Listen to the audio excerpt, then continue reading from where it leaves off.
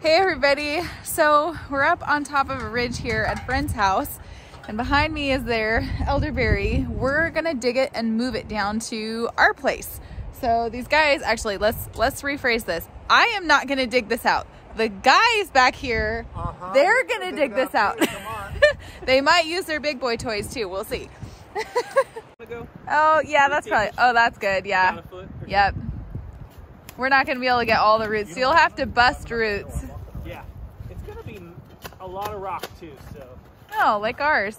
Yeah, well, surprise. Right? keep us down below.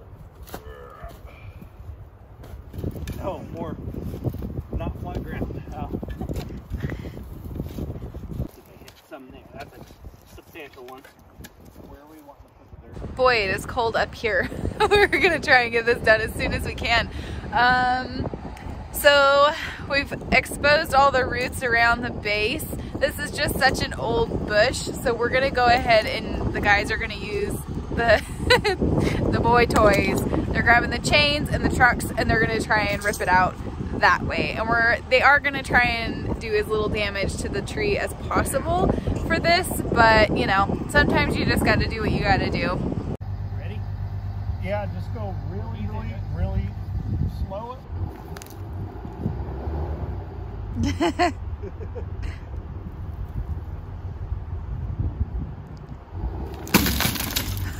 Nope.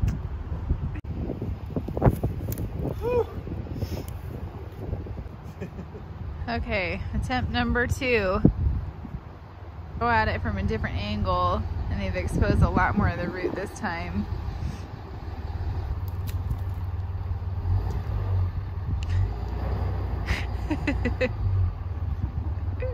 that sucker's in there. Oh, it is wiggling though. Round three. It's gonna go this time.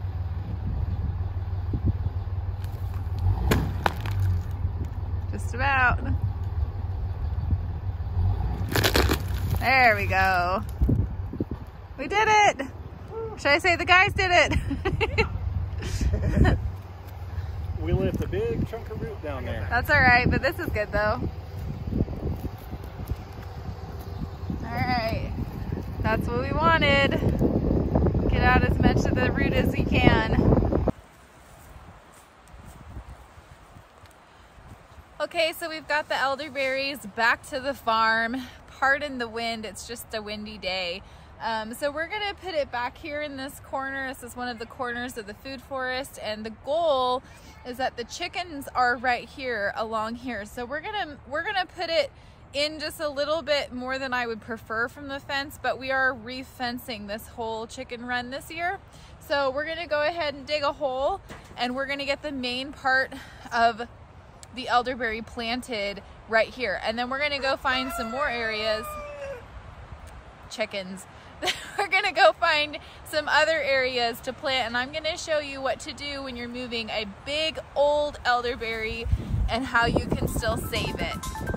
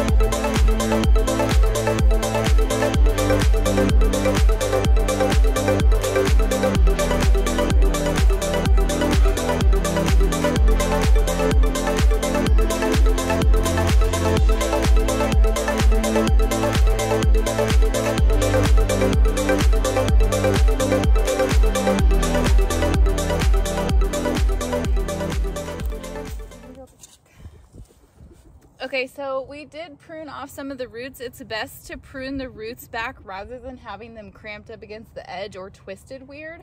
So we did go ahead and prune those off. So now we're just gonna backfill the hole.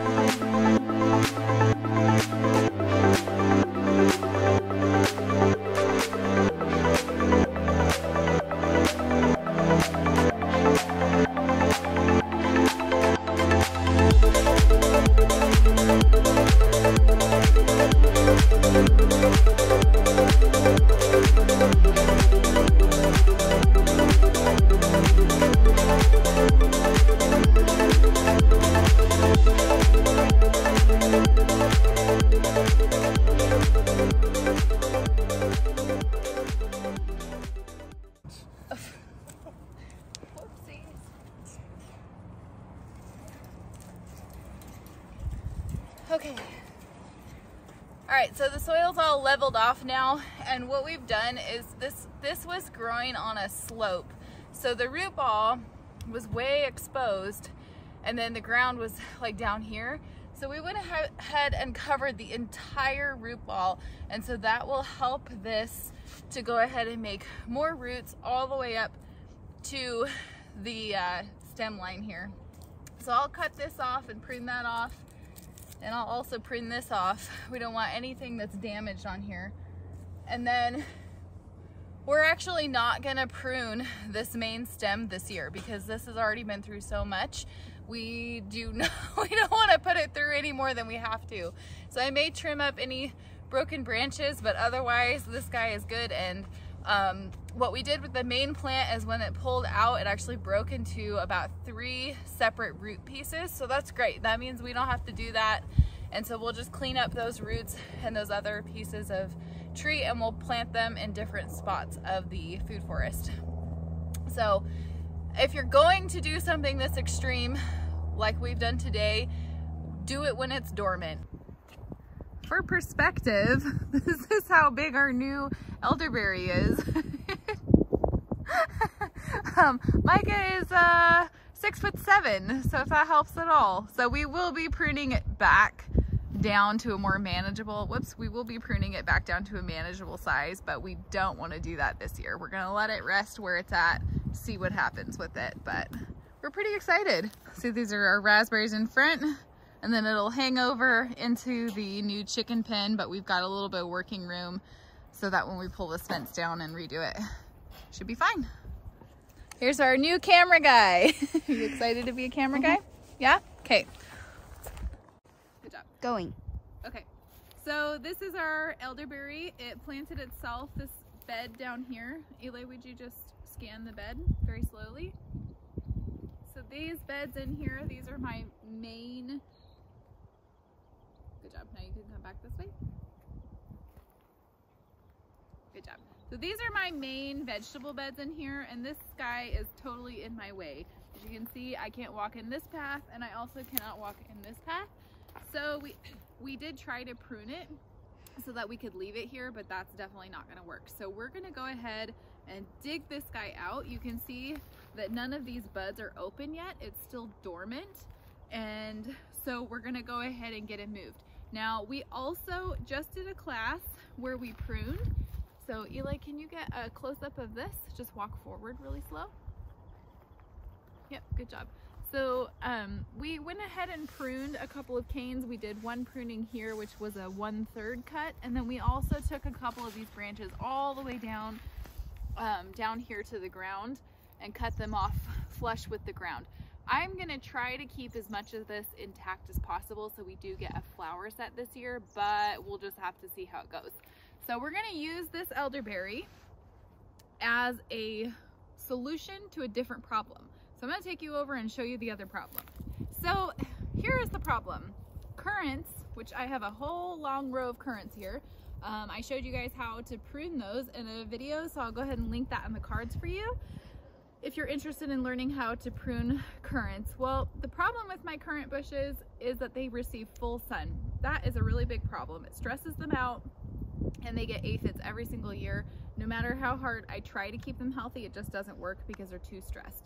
So these trees behind me were supposed to have grown up over these, but the currants have grown way faster and the trees are growing way slower. So we need a we need a solution to this problem soon. So what we're gonna do is we're gonna pull out um, this currant bush right here, which is a little guy, and we're gonna pull out this big guy right here, and then we're gonna take that big elderberry bush and we're gonna sink it right into this corner. And what that's gonna do is it will allow just enough sunlight to come through to give dappled sunlight to our currants and not block off the um, fruit trees from the sun. And hopefully, hopefully that will solve our problem. So we're gonna get going on moving this elderberry and these currants real quick.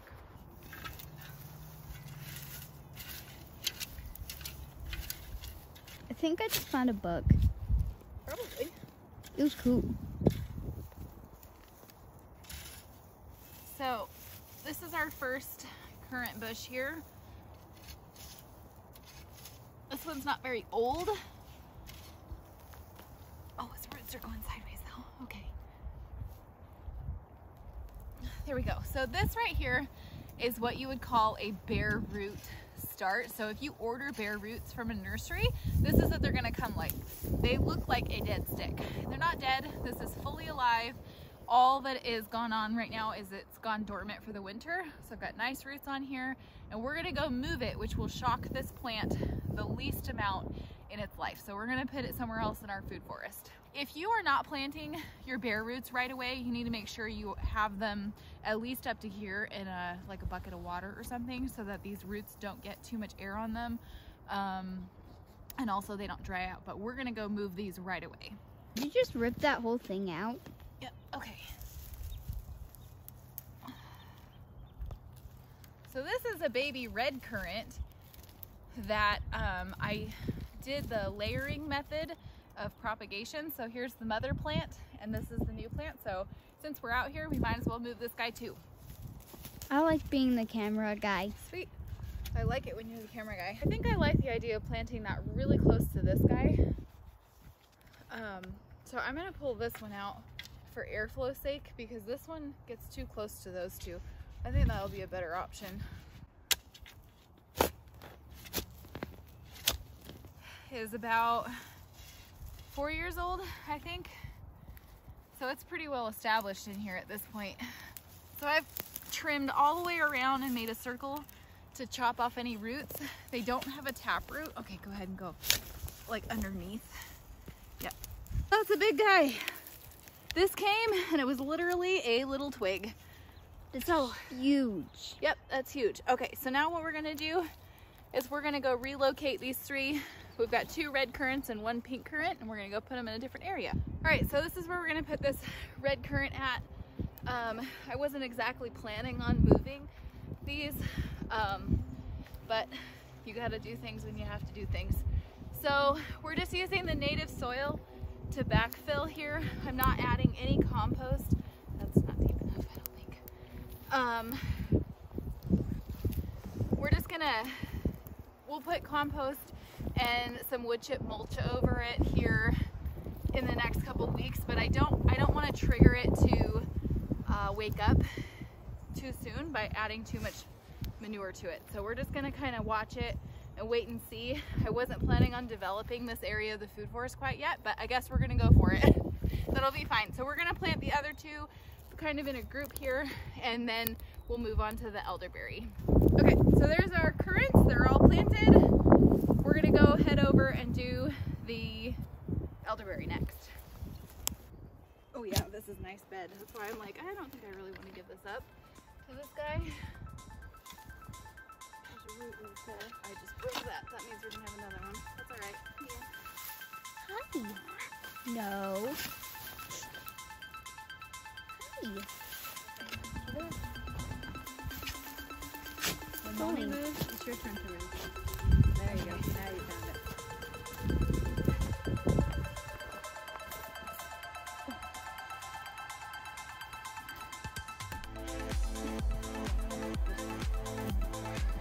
No.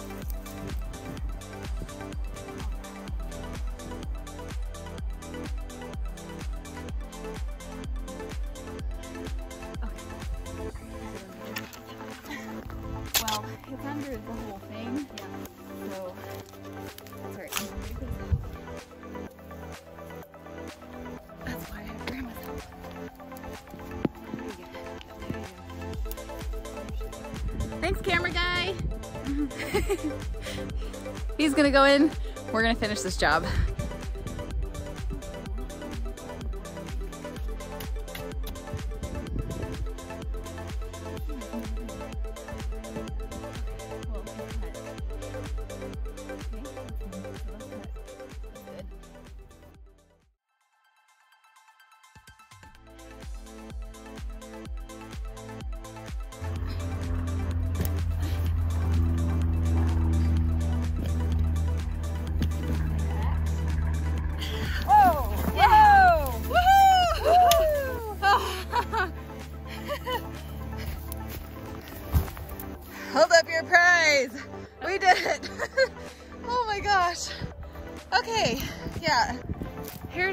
Taproot on this sucker. Oh, look at that. That's only three years old. So this is a total testament to uh, back to garden, back to Eden gardening. Uh, we had to dig like a couple of feet down for sure and right next to a walkway and this soil was just super easy and it's really nice looking so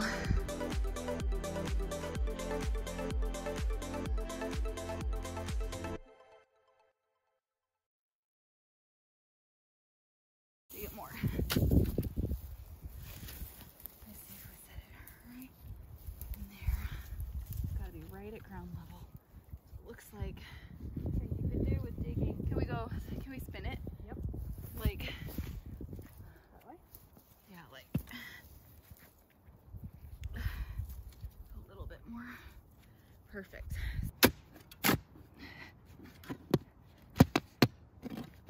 Rock. Okay.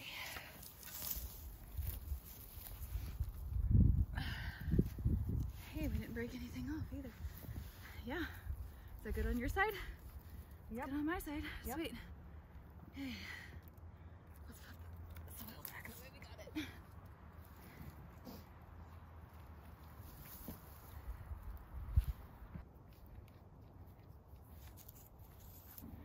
Yeah, we do not want this dang creeping grass in here.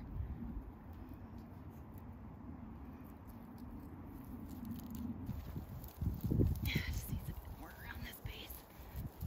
Yay, this is gonna look cool.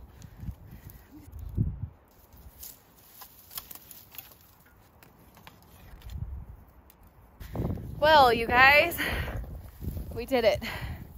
There is our elderberry. Hopefully, our currants will be happy. Ooh, the sun's bright. Um, we're gonna definitely put some mulch around the base of this and clean up some of the holes that we have made in the currant row. But otherwise, and I got my busy bee back there. She's filling in that hole that we made in my garden bed, but I'm excited that we got that done.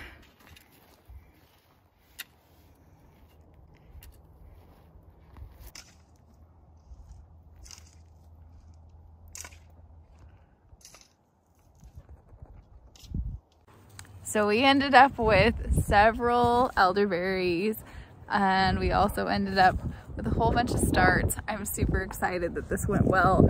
This one behind me is a total experiment. The root completely broke off. So instead, Astrid, quit. She ran off. Oh my gosh. She has a piece of grass. she didn't get to go with us today because she's not very leash trained yet. So she's very uh, happy to be free, I guess. Anyway, so this one is a total experiment. The root piece completely broke off. So what we did was we just laid it flat. This It was growing super uh, leaned over because of the wind that it received. So we just laid an entire branch down. I scarred the bottom of it and um, it has these three branches coming up out of it and we're gonna wait and see. I'm really hoping that it will root, but if not, this actually isn't a place that I want or elderberries. So um, we'll end up having to move it anyway. But if it doesn't work, it's not it's not the end of the world. But I thought I'd go ahead and give it a try. So we ended up with one, two, three, four elderberries planted this week so far. I'm super excited. It makes me so happy, especially to see trees like this in this young food forest. anyway, I'm really thankful for my big, strong husband and our friend who pulled this out for us today.